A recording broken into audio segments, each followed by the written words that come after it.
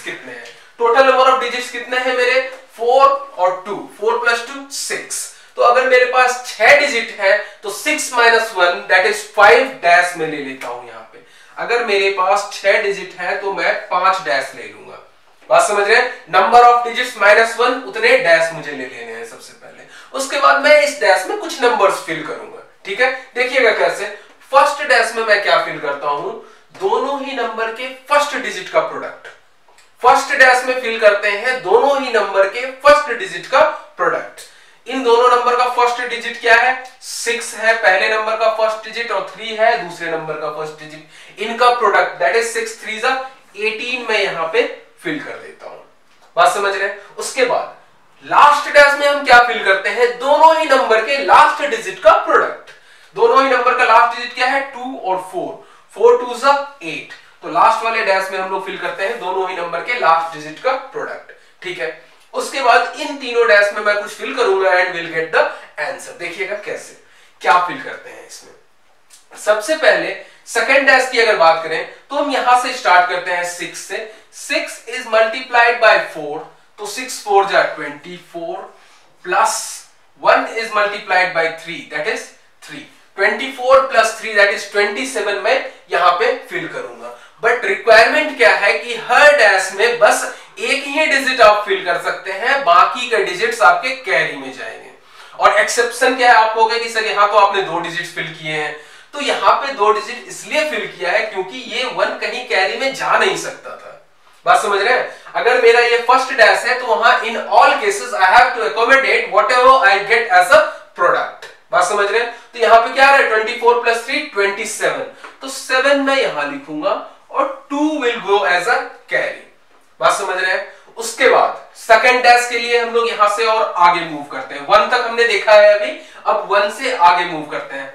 तो seven is multiplied by three and one is multiplied by four seven three twenty one plus one into four is four twenty one plus four क्या हो जाएगा मेरा? Twenty five twenty five में यहाँ क्या लिखेंगे? Five ठीक है? और two will go as a carry तो टू कैरी में चला। ठीक है? उसके बाद नेक्स्ट डैश नेक्स्ट डैश कैसे फिल करेंगे?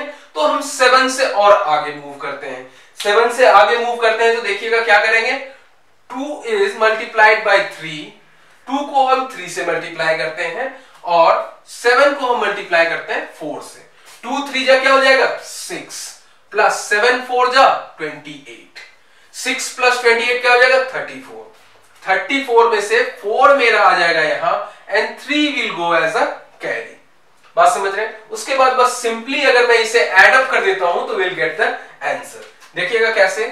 Eight four five three is eight seven two is nine and eighteen plus two is twenty तो मेरा फाइनल आंसर हो जाएगा two zero nine eight four eight बात समझ रहे हैं? सिमिलरली मैं इस क्वेश्चन को अगर सॉल्व करता हूँ, देखिएगा इधर, इस प्रॉब्लम को. टोटल नंबर ऑफ़ डिजिट्स कितने हैं? फोर प्लस टू सिक्स तो डैसेस कितने लेने हैं मुझे छह डिजिट है तो डैश कितने लेंगे? पाँच।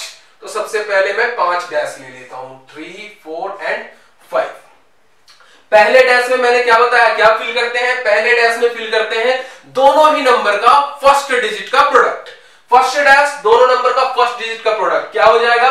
फ़र्स्ट डिजिट इसका फाइव है, इसका फोर है। फाइव फोर जा twenty is filled in the first dash. और पहले डैश में हम कितने भी डिजिट फिल कर सकते हैं रेस्ट्रिक्शन नहीं है कि बस एक ही डिजिट आना चाहिए, क्योंकि पहले डैश में हम कैरी नहीं ले सकते हैं। तो फाइव फोर जो twenty is in the first dash. उसके बाद क्या फिल करते हैं हम लोग? लास्ट डैश फिल करते हैं। कैसे?